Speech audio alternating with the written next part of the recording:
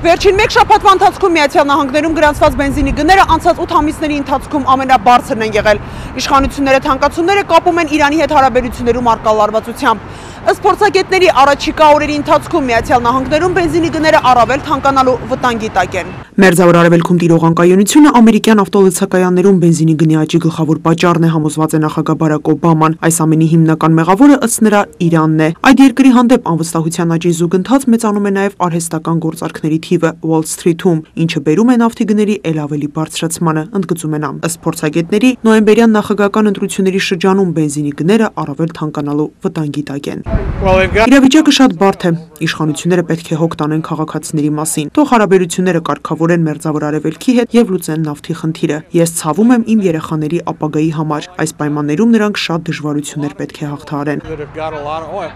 Պատկերացնում եք իմ վիճակը, ես տաքսու վարորդ եմ եւ մեր ընտանիքի միակ եկամուտը իմ աշխատանքն է ապահովում։ Տնտեսական ծանր պայմաններում հիմա էլ բենզինի գները թանկացան։ Այսօր արդեն մտածում էի գնալ աշխատանքի, թե ոչ։ Ես պատրաստվում եմ փոխել իմ աշխատանքի բնույթը, ես ամեն օր ստիպված պետք է տարբեր տեղեր գնամ, բայց այս պարագայում արդեն ծախսած բենզինն ու եկամուտները չեն համապատասխանում։ Մի բենզալացակայանից գնում եմ մյուսը ամենաէժան բենզինը գտնելու ակնկալիքով։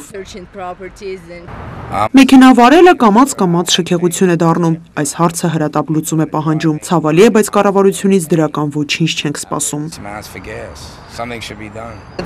Հենց հիմա նայեք փողոցի մյուս կողմում բենզինի գները 20 ցենտով ավել են եւ մարդիկ ստիպված գնում են։ Մենք չգիտենք թե ինչ է սպասվում մեզ ապագայում։ Ես երբեք այսքան թանկ չեմ վճարել բենզինի համար։ Փորձագետների համոզմամբ էներգակիրների գների աճը կմեծացնի պահանջարկը այնպիսի երկրներում, ինչպիսիք են Չինաստանը, Հնդկաստանն ու Բրազիլիան։ Կոնգրեսականներն էլ իրենց հերթին նախագահին ստիպում են օգտագործել ռազմավարական նավթային պաշարները սև ոսկու գինը իջեցնելու համար։ Եթե թանկացումները շարունակվեն, անշուշտ այն բացասաբար կանդրադառնա տնտեսական աճի վրա։ Համոզված են հանրապետականները, որոնք վստահեցնում են, որ առաջիկա նախագահական ընտրություններում հաղթելու դեպքում վառելիքի գինը 5 դոլարից կհասնի 2-ի։